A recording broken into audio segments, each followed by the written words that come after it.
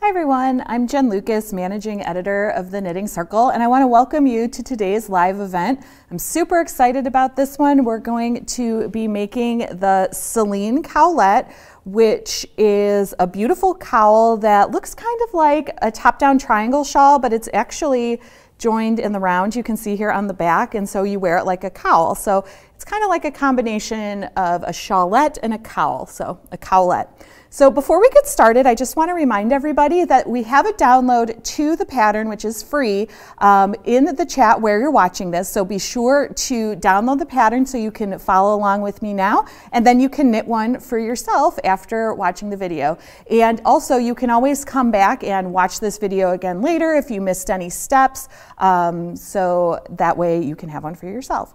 So we're going to get started with um, the materials that we're going to need. And while I'm showing you um, the materials, don't forget that you have that chat box available for you. You can leave a comment, say hello, let us know where you're watching from. Um, tell us what kinds of things you like to knit. And then if you have any questions along the way, don't forget to go ahead and leave those questions in the chat box.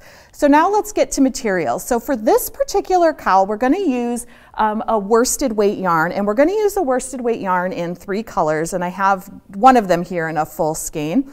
Um, and so you're going to want to pick three different colors and depending on your color A, your color B, and your color C, you're going to have uh, need to have a different amount of yardage for each one and that is listed in the pattern.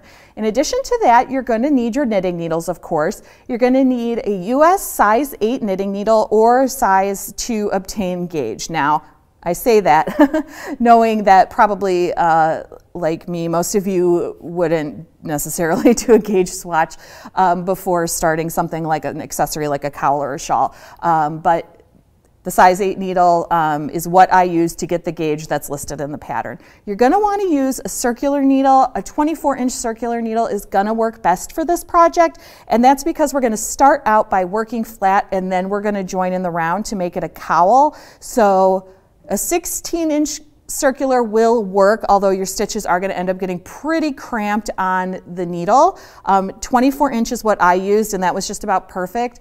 You could go up to a 32 inch circular if you wanted to, um, but at the beginning of joining in the round, the stitches are probably going to be a little too spread out on the needle if you're using a 32 inch circular. So you, um, really want to try to stick with that 24 inch circular. Also, if you're comfortable using um, magic loop or something like that to knit in the round, you absolutely could have an even longer circular needle, but a 24 inch circular is what I used here.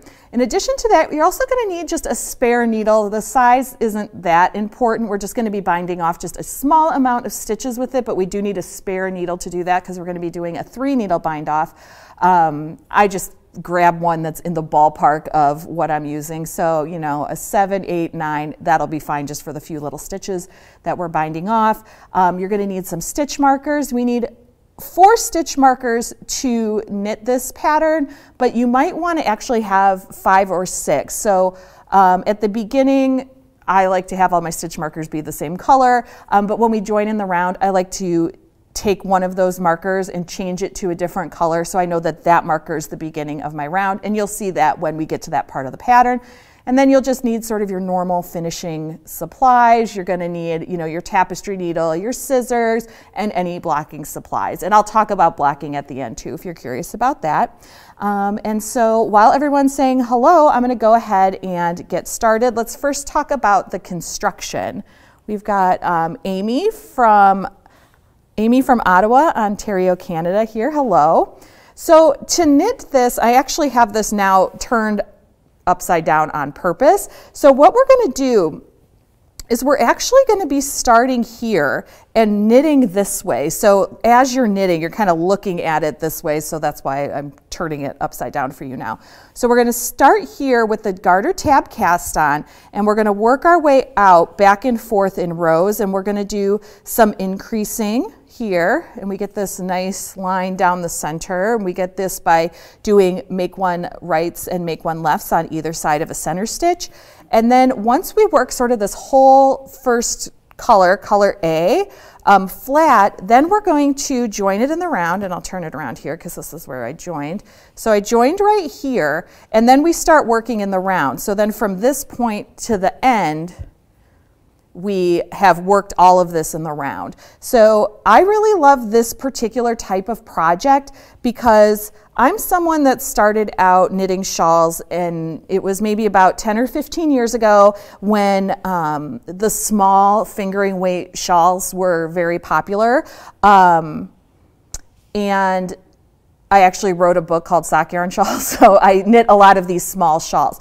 But these small one skein shawls sometimes um, they're a little bit, in my opinion, hard to wear when you're talking about something that's like a 400 yard fingering weight shawl or even a worsted weight shawl that's on the smaller side. Sometimes they're hard to wear. For my body type, I just never really could get it to stay on or just really look good. Um, so that's why I love this cowlette because it's basically a small shawl or shawlette that we've turned into a cowl. So that is a cowlette and that is what we're going to be making. So let's see. Sandy um, from Oregon asked if I will please put it on. Yes, I will. I will just do that quickly, but then I'm going to take it off just so um, it's not covering my mic.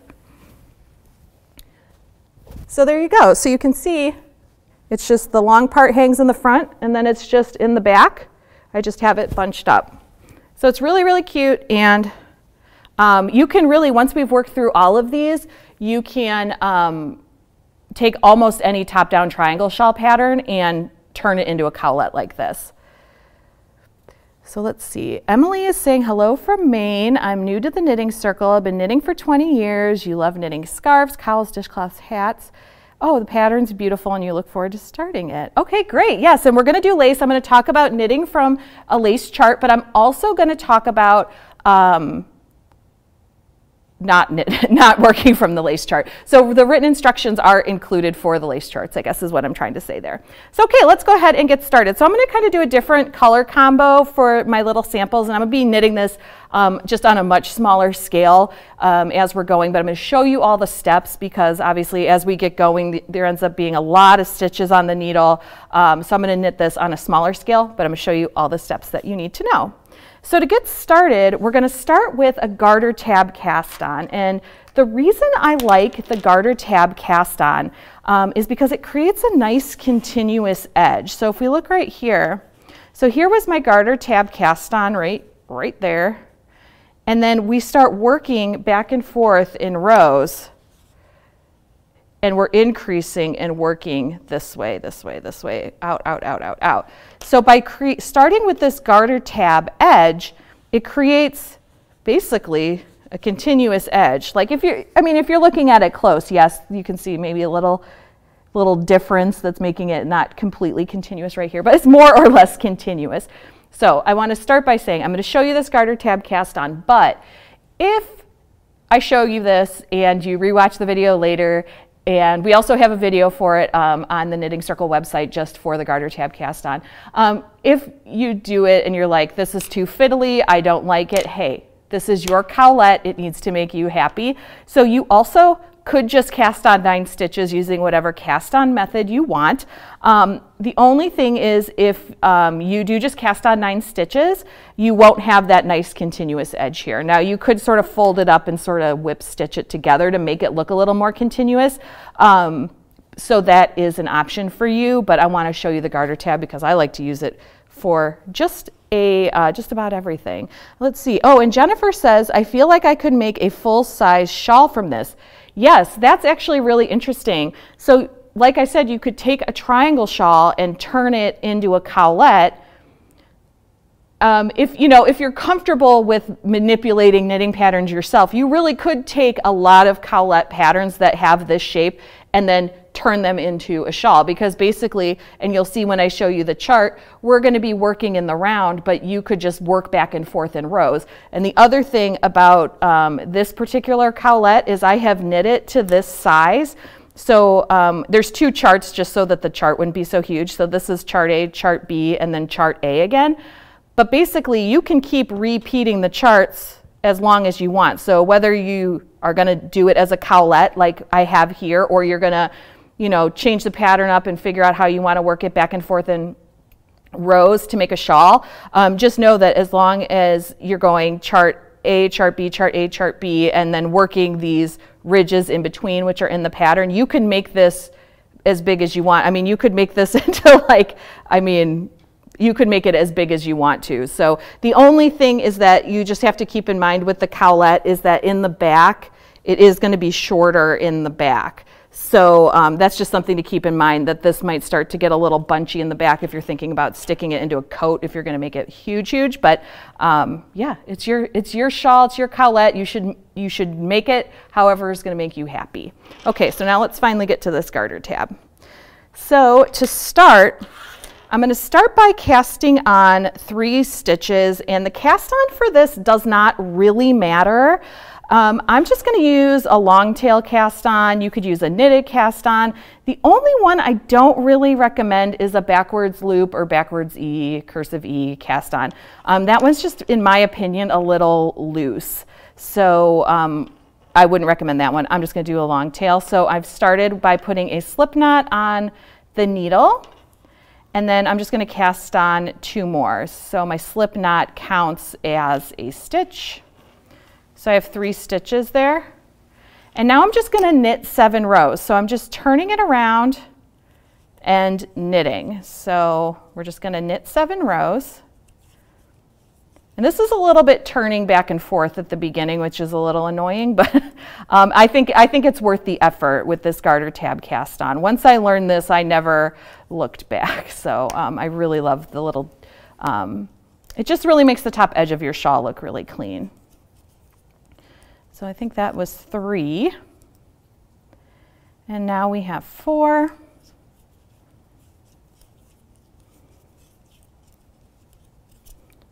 Five. And two more to go. And just keep in mind, I knit with the yarn in my right hand. Um, I'm a thrower or I knit in the English style, but if you um, uh, knit continental with the yarn in your left hand, that's fine too. All the stitches are the same, you know, you're just doing knits and purls and all that. So just keep that in mind. Okay, so I have my seven rows. Okay, let me just move this yarn over here.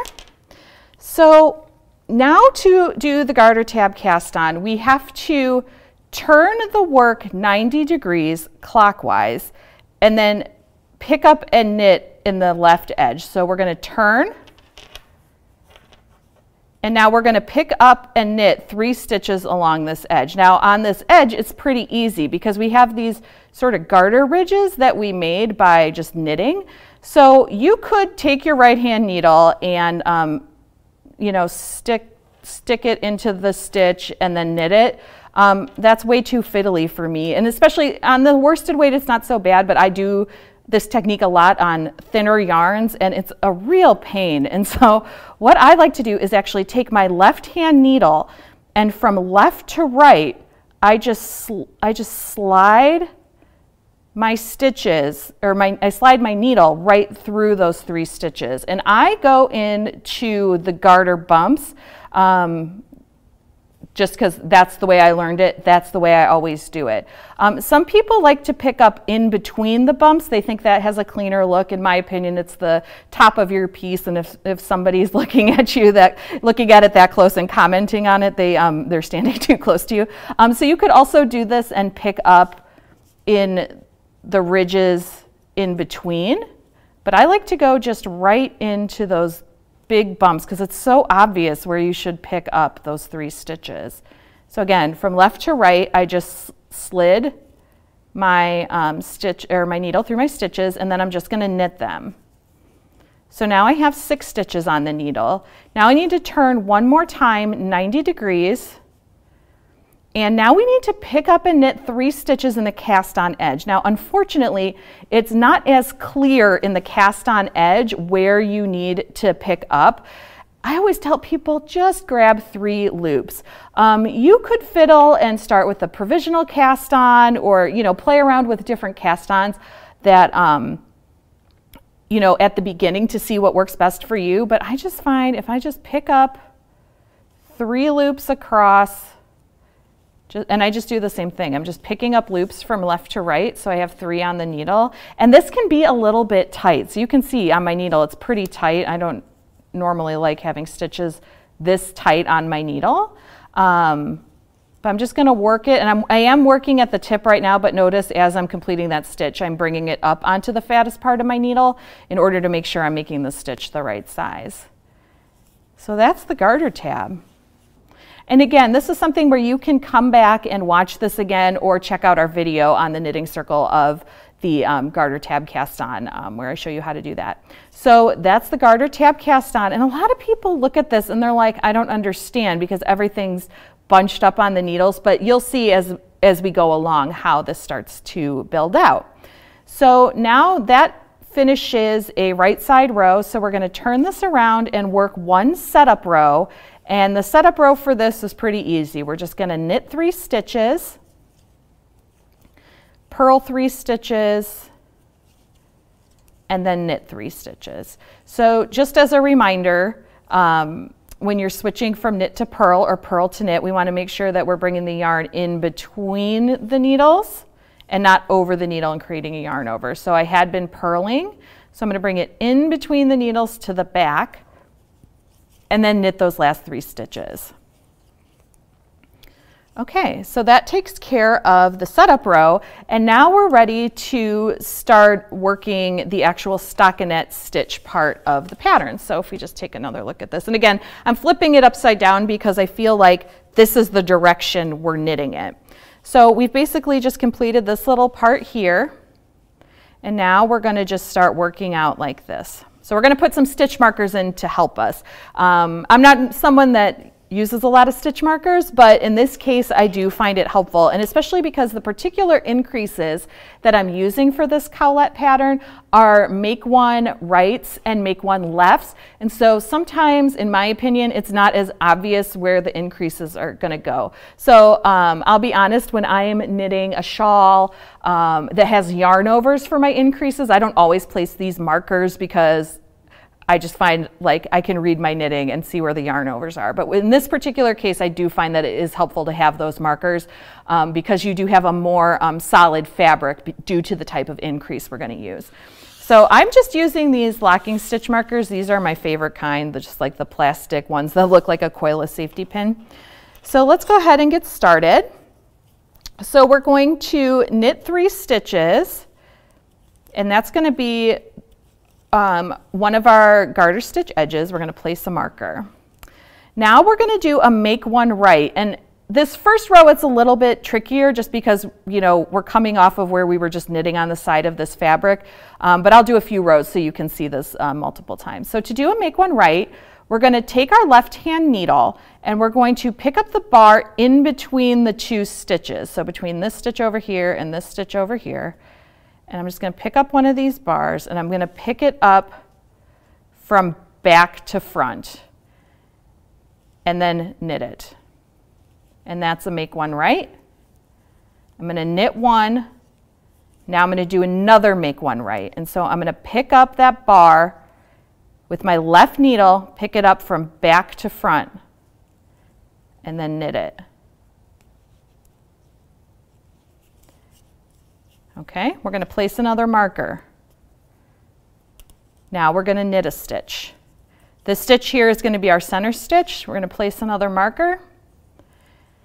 And so we'll always, at this center, we'll always only have one stitch between these markers.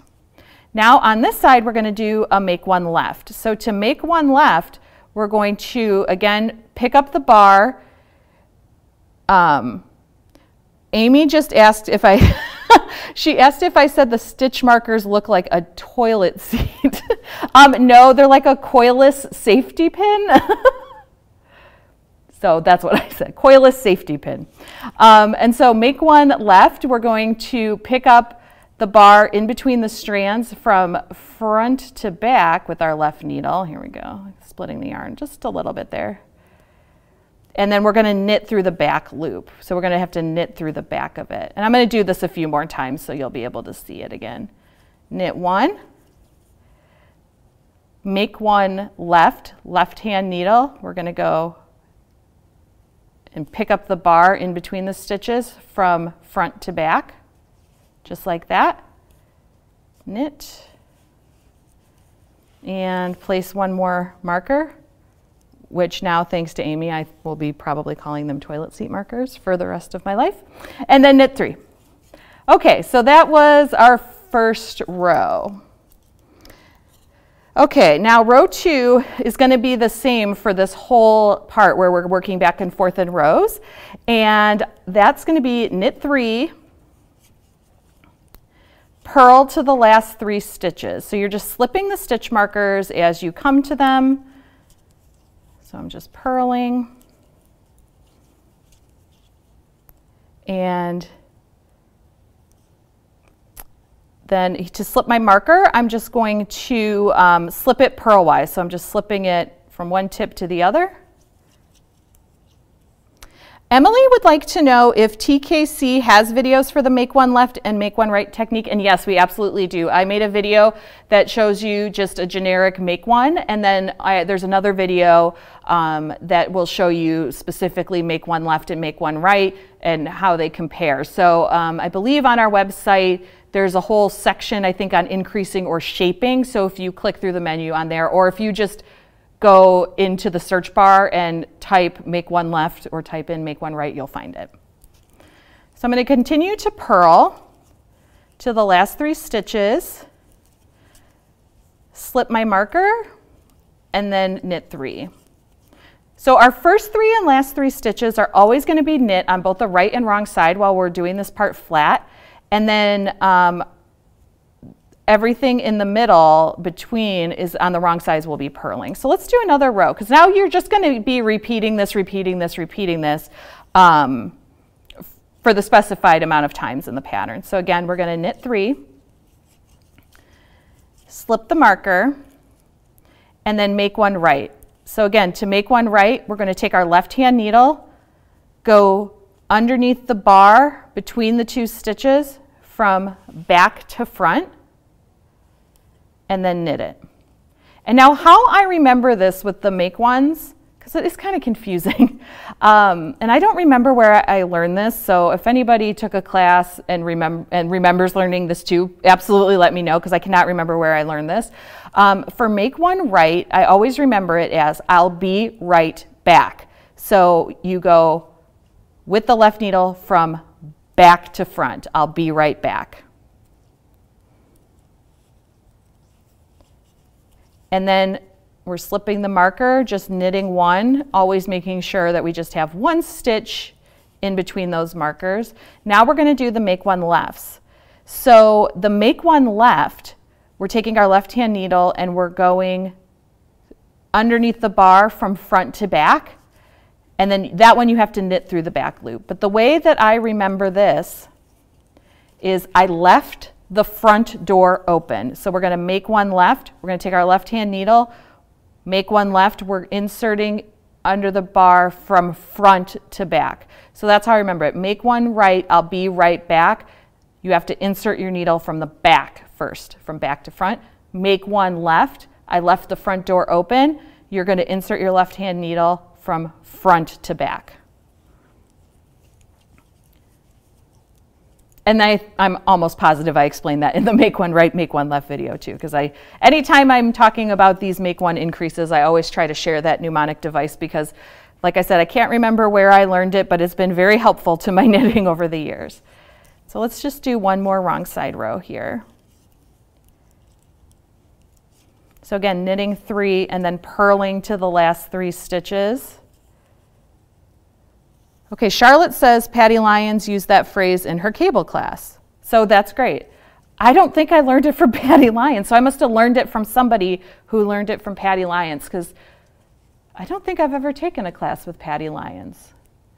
So well, wherever I learned it from probably came from her first, right? Because she knows Patty Lyons knows a lot about knitting. she knows all all the tips and tricks.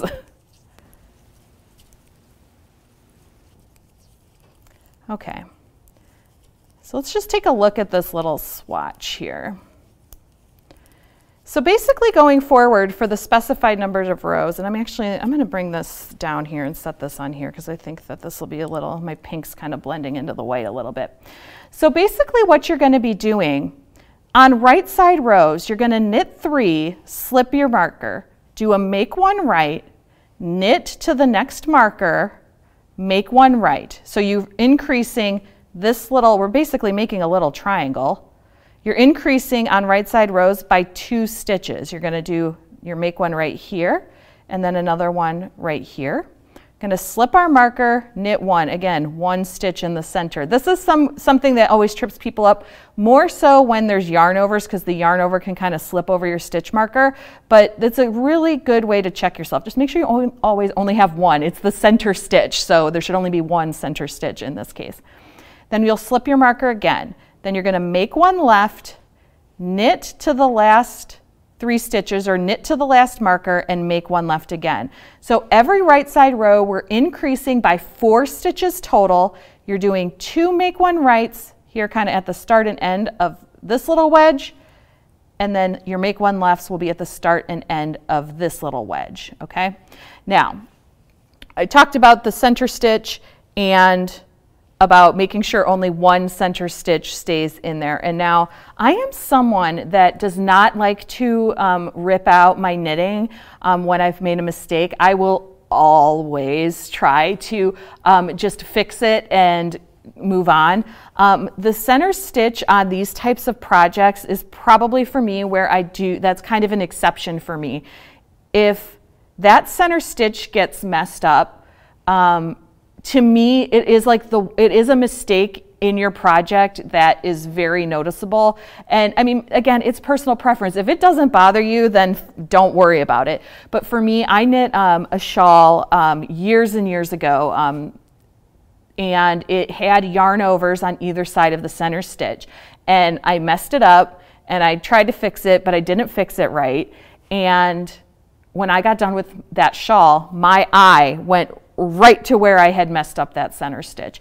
Um, so the center stitch on something like this is like, for me personally, this is, that's one place where if I've made a mistake, I might go back and actually rip out my knitting and fix it or, you know, drop down some stitches and actually fix it just because I do think that this here is such like, um, sort of almost like a striking detail that I feel like if this somehow got messed up and then like all of a sudden it was over here a little bit, I do, I do think that maybe even a non-knitter would notice it. But again, if it, that doesn't bother you, don't worry about anything I'm saying. But that's just as far as mistakes go in this first little part. Um, that would just be the one thing I'd really keep my eye out for is just make sure that your center stitch is just looking nice and straight and just going right down the center. Um, let's see here. Um, Emily says the first video I watched from the Knitting Circle was on beading. That's great. Could beading be incorporated into this pattern? Absolutely.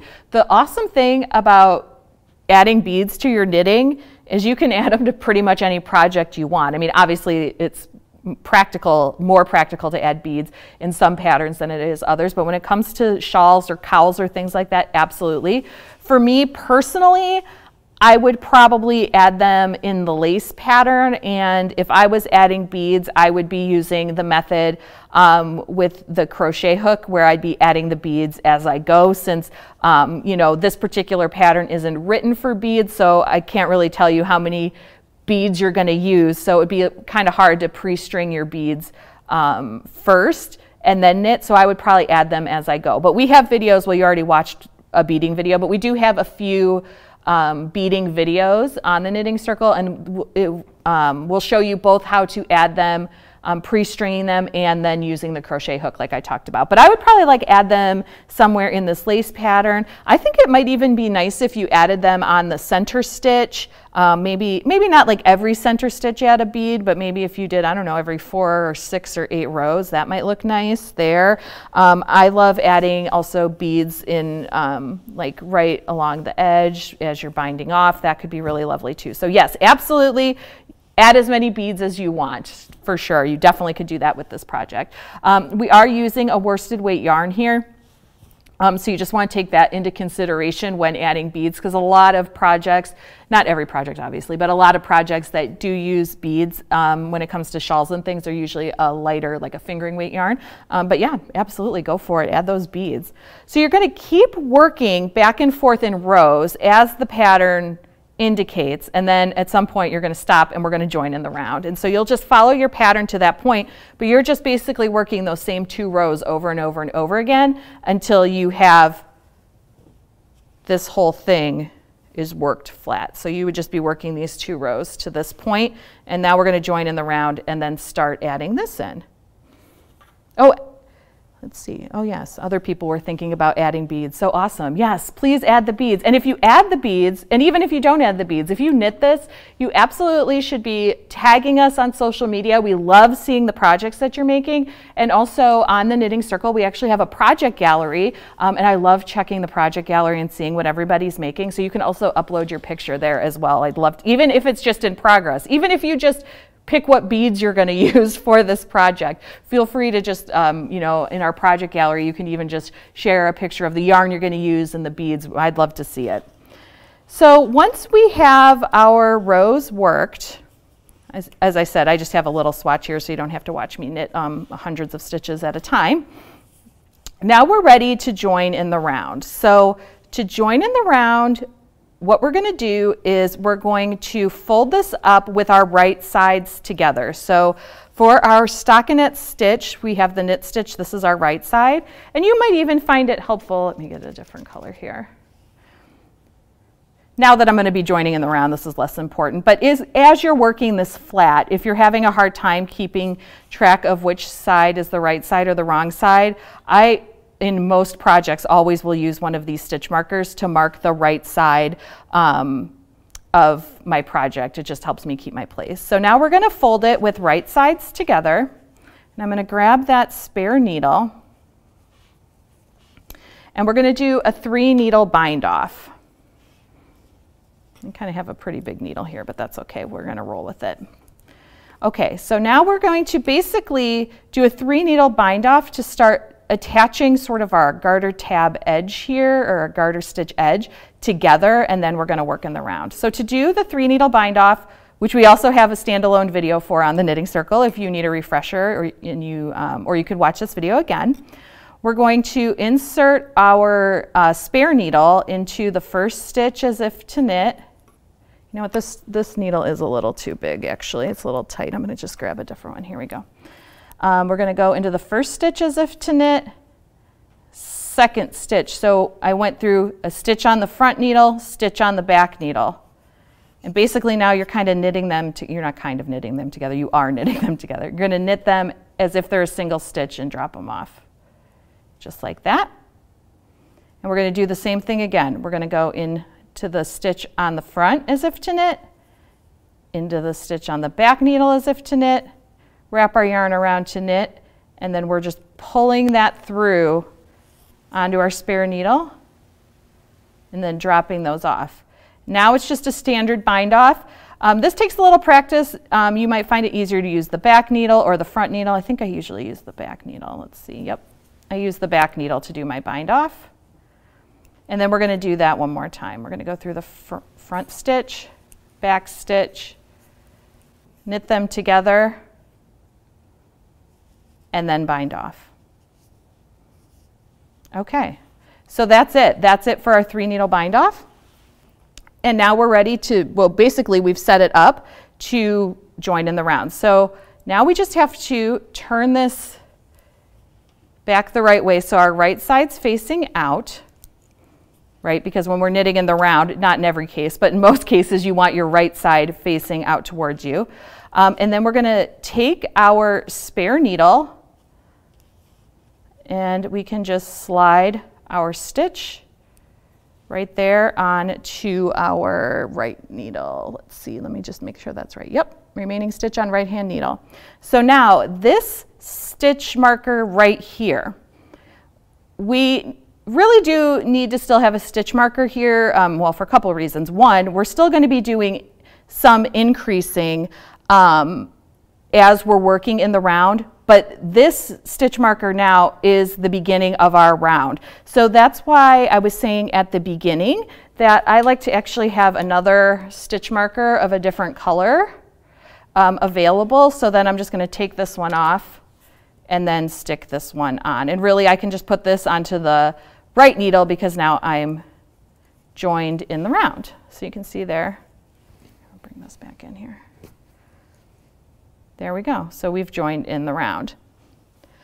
So now that we've done that, we're going to actually um, attach our color Bs. So um, like I said, I mixed up the colors on the sample just so you could sort of see a different combo. Um, but um, you would just, whatever you've designated as color B, um, we're going to just join that um, in, uh, into our knitting. So for my color B, I think I'm going to use the darker one now for my color B to do the garter ridges. And so by garter ridges, I mean just this little right here. So we're going to do that in the darker color because why not? Okay, so joining a new color. I've got a lot of yarn hanging down here. Okay, there we go. Um, for joining a new color, there's a number of different ways you can do this. Um, basically, the easiest way is you just drop the old color and you pick up the new color. Um, and um, that's definitely valid and a great way to do it. Um, even though we're going to be, I'm actually going to cut my color A. Um, I like to actually, when I'm joining a new color, I take my old color and my new color. So I have my working yarn, which was my light pink, and then I leave a tail of my new color. And I like to just knit them actually like together like that, just like that. So for this, we need to do a make one right first. So we're gonna do our make one right. And so in this case, because I'm starting with the make one right, I'll just do it with both colors held together and then maybe even knit another stitch together with the same color and then drop the old one. So I usually, in most cases, not every case, but a lot of cases, I will um, knit a couple stitches with my old and new held together. You really, in most cases, can't even tell that those were um, held together. Okay, so we did our make one right. And then now we are going to just knit along. So, oh, wait, no, oh, I'm knitting with the tail. there we go. So I've got my working yarn color B. And this sometimes can loosen up a little bit. You might need to tug on these a little bit sort of to tighten everything up as you go, and that's okay. And then we're just going to start knitting. And so I'm just going to knit around. And so now I'm doing that garter stitch stripe. So our first round, we're still basically just doing the same thing we were doing while working flat. Um, we're just knitting to the marker, doing our make ones, and then I'll just uh, keep working. And then once we're done with that, we will um, work our next round. For this particular project, I did cut the yarns. I actually do prefer, you can carry the yarns if you want um, on the inside of your project. And that's great. If you like that technique, that's fine. I actually, even though it's more ends to weave in, I actually like to cut my colors in most cases. I just find, I just like, I like the finished look of my piece a little bit more, even though it takes a little more time to weave in ends. But I'm one of those weirdos that likes to weave in my ends. So, okay, so now we um, have our center stitch. We slip the marker. So now I'm doing my make one left and knitting it through the back. And then once I come around to the beginning of the round, we'll see what to do on the next round. And don't forget, if you have any questions along the way, just be sure to drop them in the chat. And if you haven't downloaded the pattern yet, you want to definitely, definitely get this one.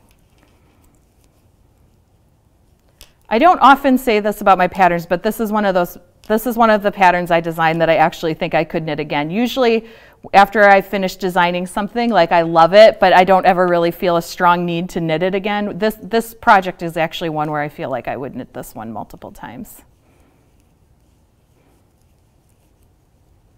Okay, so we're coming around to our next marker, so we're gonna just do one more increase. We need to do a make one left.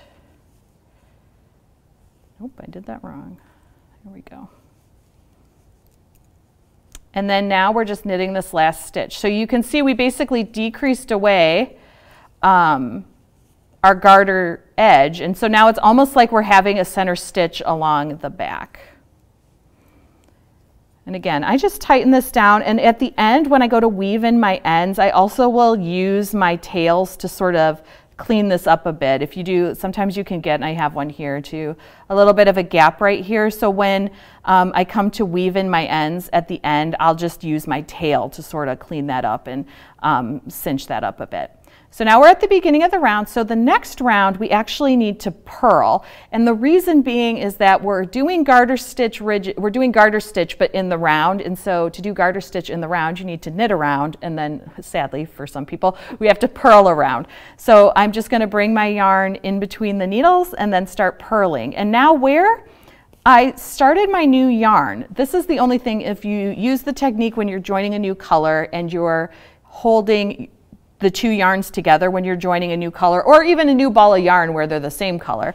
Um, you just want to make sure you're treating these as single stitches. So I've brought my yarn to the front and now I'm going to purl.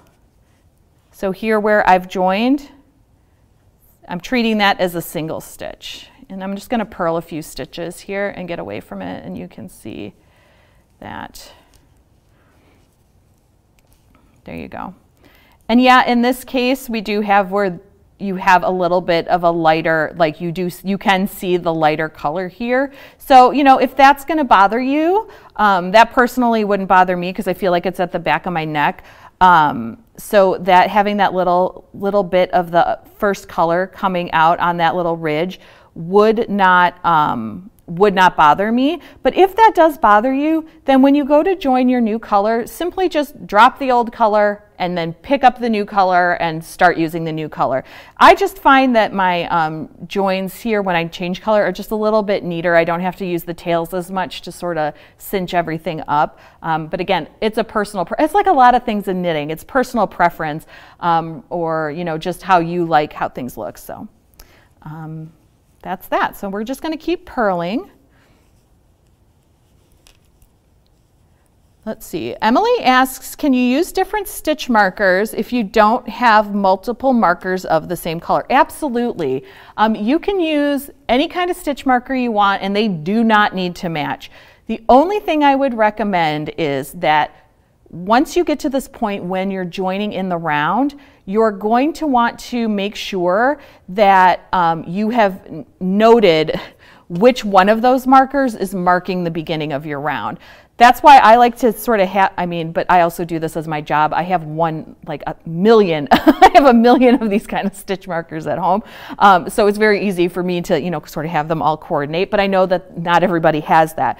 So yes, you could use whatever you want to use for stitch marker is great. Just make sure that on your pattern or whatever, you're just noting down um, which one is marking the beginning of your round. And I do recommend writing it down because I can't tell you how many times in various knitting projects I've had that I have started something something like that where I'm like, oh, I'll just remember that this marker, this orange marker is the beginning of the round or whatever. Um, and you know, if I had all different ones, and then you know, you set your knitting down and you pick it back up later, and then you're like, uh oh. so I, that's why I always recommend actually write it down so you know what um, is happening on your um, on your knitting project. I'm definitely somebody that likes the pen and paper when it comes to my knitting patterns. I like to print out my physical copy of my knitting pattern and then I like to write all over it. um, and if I'm doing something like a sweater, something more complicated, I actually um, will like take notes in a notebook um, as I'm going, just especially when I'm doing sweater knitting when there's a lot of at the same time directions and things like that. So. So on these purl rows, we're just purling. We're not doing any increasing. So we're maintaining, even though we're working in the round, we're maintaining doing increases every other round. So I'm just going to get to the end of the round here. You're actually going to do two more rows. You're going to do another knit row with the increases and then another purl row for the pattern. Um, but I'm just going to get to the end of the round and then we're going to go ahead and talk about the charts. I want to make sure that we have time to talk about blocking and binding off and all that fun stuff too. So we're just going to purl these last few, but again, you'll have a total of four rounds, so you'll have two garter stitch ridges.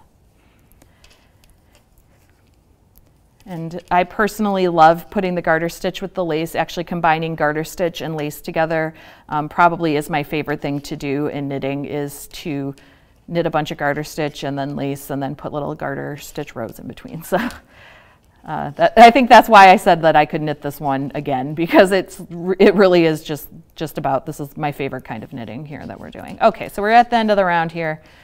Let's move this out of the way and start talking about the charts. So if we just quickly bring the cowl back in. So again, we just did this first garter ridge here, and so it's called a garter ridge because you have um, what are basically purl bumps or garter stitch bumps here. So you would work two more rows. It's obviously it's all indicated in the pattern. And now we're ready to start the charts. So let's take a look. I do have the charts here, but don't forget they're in the download. So if you can't see them um, here, um, I tried to blow them up as big as I could, but they're, they're in the pattern for you. So we're going to start working the chart, and I just want to talk a little bit about reading the chart. Um, we do have, of course, videos on the Knitting Circle about reading charts. Um, so you can take a look at those if you want uh, more information. And as I said at the beginning, the written instructions are included for the charts in this pattern. That's something that's very important to me as a designer that I'm always providing those. That's just my personal preference. It took me a really long time to learn how to knit. I was very resistant to knitting charts for a long time. Um, and so I do, um, you know, it's not always possible, but in almost everything I design, I include the written instructions for the charts because I, I know not everybody likes them. But let's just talk about the chart, and I encourage you to at least try, check out our video, um, and give knitting charts a try because I do think it's easier, especially when you start talking about more complicated stitch patterns. So here is our chart. This is chart A. And so we're working in the round. So every round we're going to be working this way from right to left. So we would do round one like this, round two like this. So we're e reading each one like this. And as you're going along, the way I like to um, keep track of my place is, of course, I said I was a pen and paper person. Um, so I just have some sticky notes, whatever kind of sticky notes you want. Um, you can use highlighter tape. Um, I've even put this in a, like a plastic sleeve and used washi tape because I like paper crafting too. But so I actually like to use um, a sticky note and I like to put it above where I'm working. So like let's say I was about to work row three. I might stick, and obviously I, I would either move my sticky note when I got to the second half, or I'd put like three together, something to block this off, or even set a piece of paper here, whatever. But if I was working row three, I like to put my sticky note like this so I can see what I've already done and it's blocking what I haven't done yet. So that's how I um, keep track of my place. And then also I can use the sticky note to write things down, like what the color of my stitch marker is.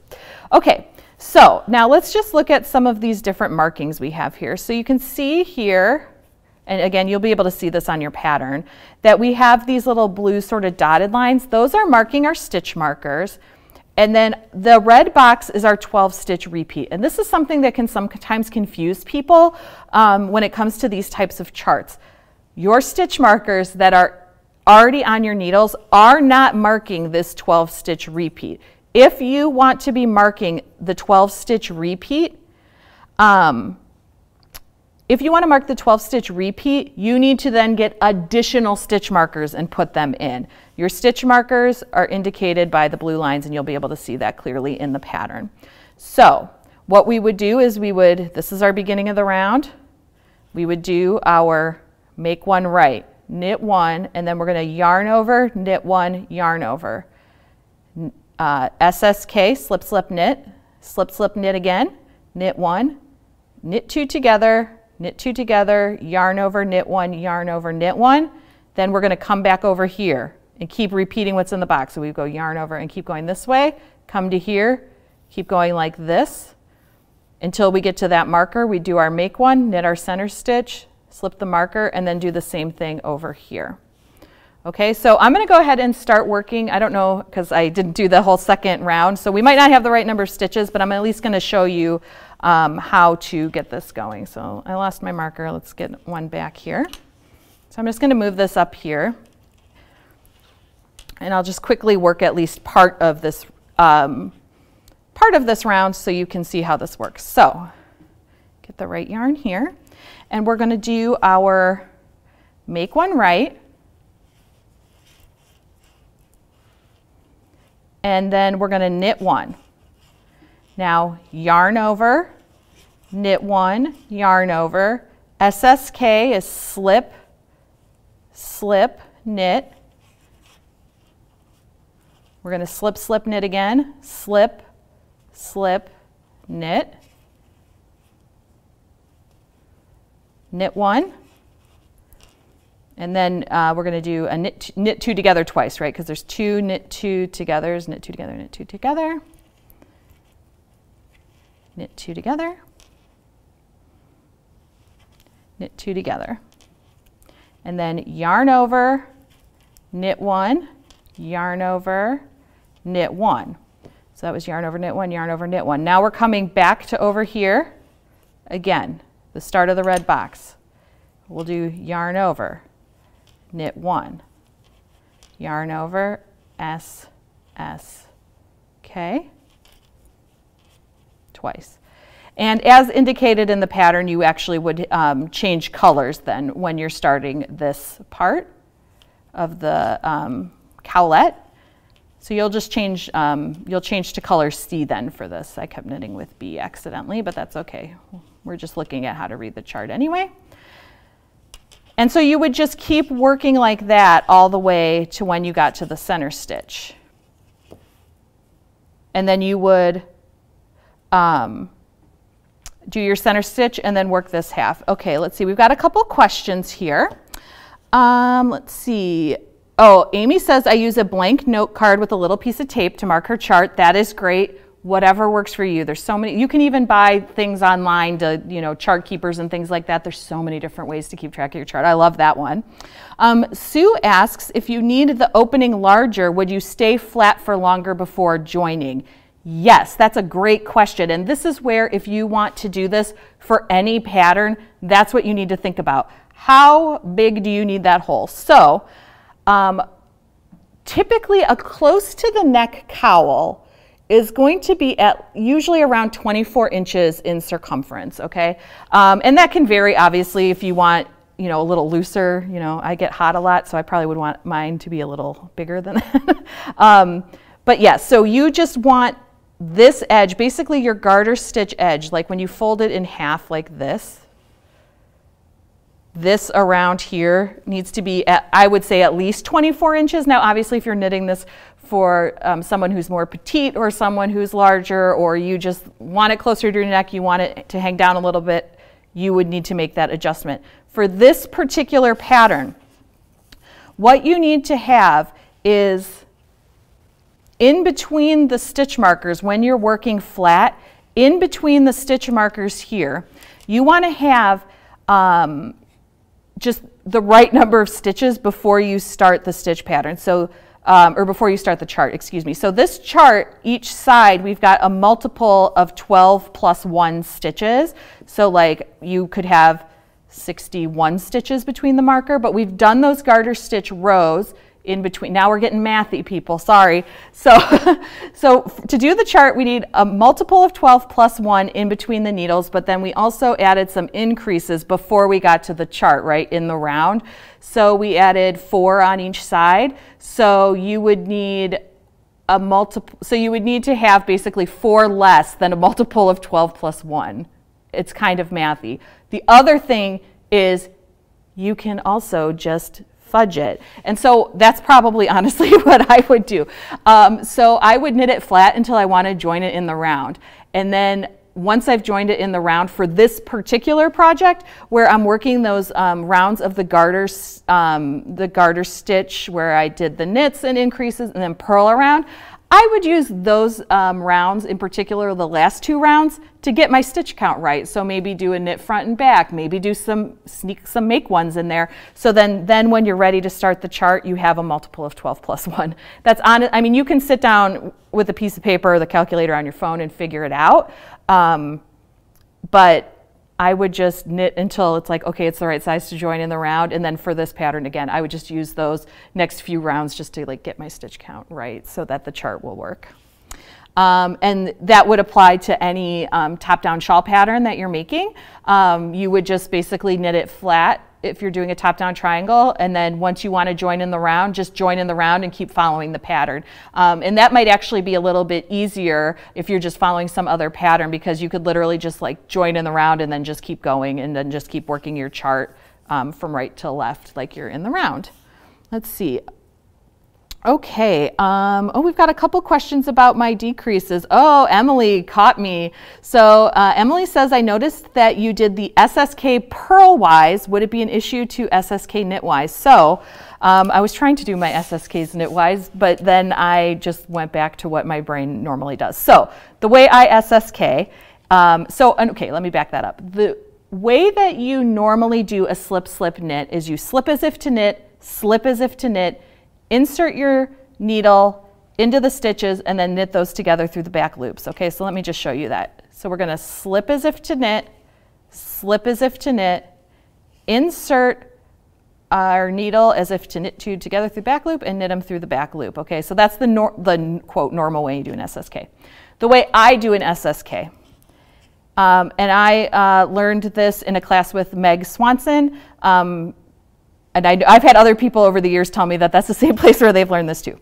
So you're going to slip as if to knit, and then slip the second stitch as if to purl, and then go in and work them together through the back loops. So again, the way ISSK is slip as if to knit, slip as if to purl, and then work them together through the back. Now, this is a very, very minor little detail. Um, what was pointed out in that class that I took with Meg Swansen, um, and I think is true, is that um, the SSK, when you slip the second stitches if to purl, that um, lays a little bit flatter, it's a little bit neater, and in my opinion, more mirrors a knit two together. Um, so that's just a tiny little detail to try. And when I do these videos, I normally, um, you know, depending on what I'm teaching, I usually just try to do my SSK slip as if to knit, slip as if to knit, because that's the traditional way to do it. But um, you caught me, my brain just went into, we just went in, just, you know, went into uh, mindless knitting mode and just did my SSKs the way I normally do them.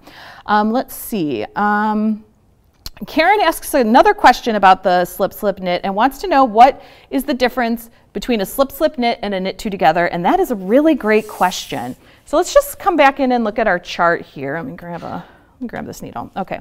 So the chart here is a really actual good representation of the difference. So you, our slip slip knits are over here. And so a slip slip knit is going to lean to the left and then a knit two together, like you can see here on the chart, leans to the right. And so they're mirrored. Um, and so the reason that designers will use them one over the other is that they want those decreases to shape the piece a certain way and look a certain way because you can get actually um, in patterns some really strong lines when you um, you know, do your slip slip knits on one side and then do your knit two togethers on the other side. Um, of course, we actually have a video on the knitting circle um, where I have some swatches where you can see like the slip slip knits are on one side, the knit two togethers are on the other side, and how they mirror each other. So I encourage you to go check that out.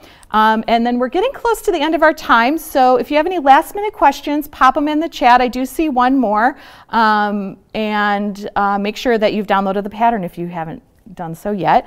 Um, but our question from Barbara is, why does the chart have squares of no stitches? Another great question. So the no stitch is that there is literally no stitch. So what is happening is as we're working the chart, we are increasing. And so when a designer is making a chart, we'll use the no stitches as a way to have our chart look nice and kind of look like the knitting um, without having stitches there. So when you're starting and there's no stitches, you literally are just basically ignoring the gray box. Well, you, you are ignoring the gray box. You're just ignoring the gray box and then starting. And then when you get over here, you finish with this make one right. You just do this make one right there's nothing left. There's no stitches. You just skip right to there. So the no stitches in a chart really um, are just so that when the designer is making the chart, they can make the chart look more like what the knitting is going to look like because you can see up here, we don't have any no stitches and that's because we've increased to the point um, that you know, we don't have to worry about putting any of these gray boxes or no stitches in. So thank you everybody for watching. Dawn says thank you so much. She's a newbie and learned so much. Thank you so much. I'm so glad whether you're a newbie or an advanced knitter, I hope that you at least learned a little something um, from making this cowlette with me today. Again, if you haven't done so already, don't forget to download the pattern um, and be sure to share with us on social media or in our project gallery your progress. I'd love to see it. So I'm Jen Lucas, managing editor of the Knitting Circle. Thank you so much for joining me and I'll see you next time. Bye.